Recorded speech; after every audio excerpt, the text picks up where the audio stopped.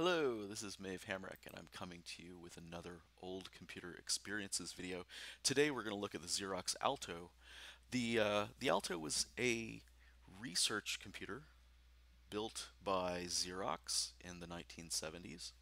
It was intended, uh, it was never intended to be a commercial product. It was always intended to be a research uh, system. So researchers inside uh, Xerox, uh, especially at the famous Xerox Palo Alto Research Center in Palo Alto, California, used it to develop new ideas, uh, new concepts in computing. Um, so today we're going to look at the Bravo text editor. Bravo was probably the first WYSIWYG, or what you see is what you get, text editor. We, we take these things all for granted these days, but you know there had to be a first one. Before this time, if you wanted to create style text, you used a, uh, a, a, markup language like nroff or something or, or some equivalent. Um, so you'd have all of these uh, funky codes inside your text, and you know it required you to know all of those codes and figure out how they interacted. So the researchers at uh, at PARC decided they would would try to come up with something that was a little easier for people to use. So let's start up Bravo here.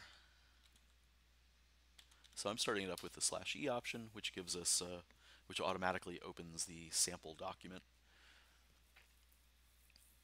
And I've created a different sample document, you know, specific uh, to me trying to demonstrate the, the Bravo text editor. So Bravo is a modal text editor, which means that you know it starts up and you don't start typing. You have to you know enter it uh, enter commands. You have to get it into an insert mode. So the cool thing though is you use the mouse pointer to create, uh, to identify the, the, the insertion point where you want to insert text. So uh, I put the selection, uh, I selected the end of that sentence and I type I for insert and now I can start typing. And of course I hit escape when I'm done. Uh, I mean, that's obvious, right? Um, so again, this might be uh, kind of weird for modern users. Although uh, programmers that use the VI text editor, this might might seem familiar. Uh, uh VI comes from a long line of text editors that had this this characteristic. Uh, Ed, VI, TECO, all of these different text editors were modal in the same way. Um, now, interestingly, the text that I just entered after I hit the escape key uh, is selected. It's underlined, and in Bravo that means that it is selected. Remember, we're we're a modal editor, so we enter in commands. Let's uh, let's change the look and feel of that that line of text. I would type the L command for look, and then maybe B to bold it. So look at that. I've created bold text, and uh, if I want to it's still selected. So if I want to uh, uh, make it italic, italicize it, I do L I, yay. Um, if I want to unbold it, I would do L Shift B, and L Shift I un italicizes it. Uh, in theory, I could also delete it by hitting the D key. There we go. Um, so hopefully you, you noticed what was going on up here while I was doing that. Uh, the line up here uh, listed what mode I was in. Uh, we have a little, we, we have a, a, note here about you know what I just did. Uh, along here, uh, the text inside these uh, curly braces is the text that I just operated on and uh, also I guess the text that I will operate on in the future. Uh, interestingly, Bravo has a scroll bar. Okay, so this was before the concept of a modern scroll bar where you had a proportional thumb uh, or you had a thumb at all.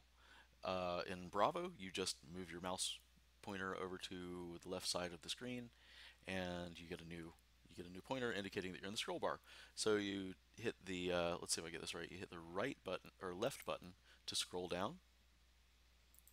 So we can scroll down by repeatedly hitting the right button in the scroll bar. Scroll up by hitting, hitting the left button.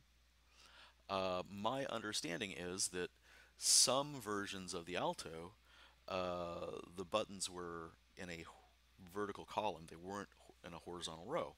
So this is another another innovation that we get from uh, from Xerox PARC in the Alto is that the whole concept of mouse buttons being side by side in a horizontal row instead of a vertical column uh, that came from experimenting in uh, you know at PARC.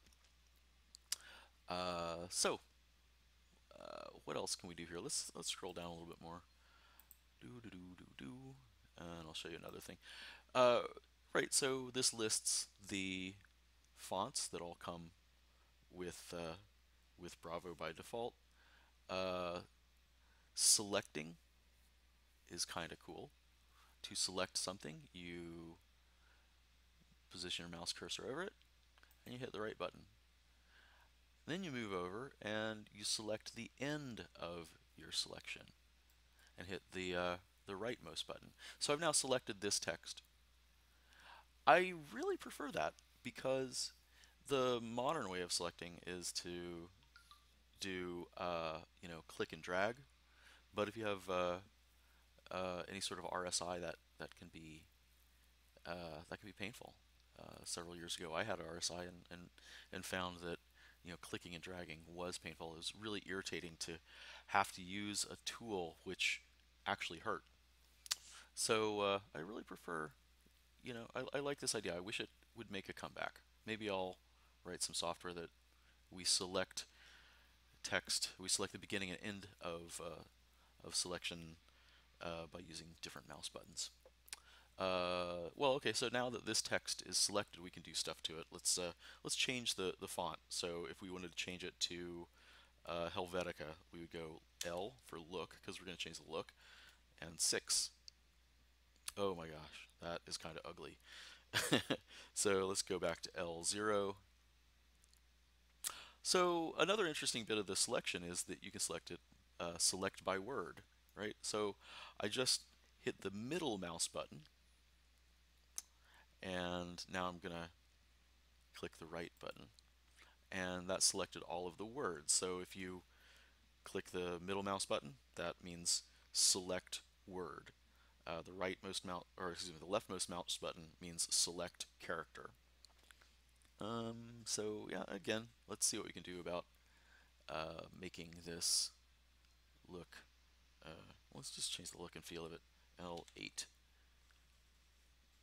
And yeah. And let's make it bold. What the heck? Yay.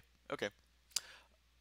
Now, we saw the invisible scroll bar. There's another invisible paragraph selection bar to the the right or to the left of each paragraph. Um, to create a paragraph, you have to enter, you have to type control carriage return uh, instead of plain old carriage return. And once you do that, uh, you know, text between two control CRs is considered a paragraph. Uh, so now that, uh, so this text is in a paragraph, so we can actually go over here uh, to the not a scroll bar but the paragraph, the hidden paragraph selection bar um, and click the middle button. There we go. And the mouse pointers turn to the paragraph symbol indicating that we know that we've uh, uh, we've selected a paragraph. Um, and now I can um, I could delete it with a D. I don't really want to do that.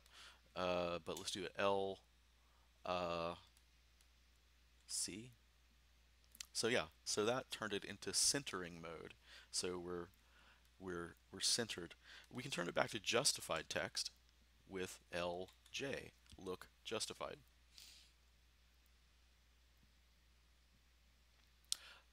You'll notice there is uh, no menu. Uh, no menu as we would normally, no menu bar up here right? So the way that you uh, save documents uh, is just simply to, you know, do a P. So I type P, it says, oh, just type the name that you want to save it to. Well, okay, I don't really want to save over it, so I'll just hit escape, escape out.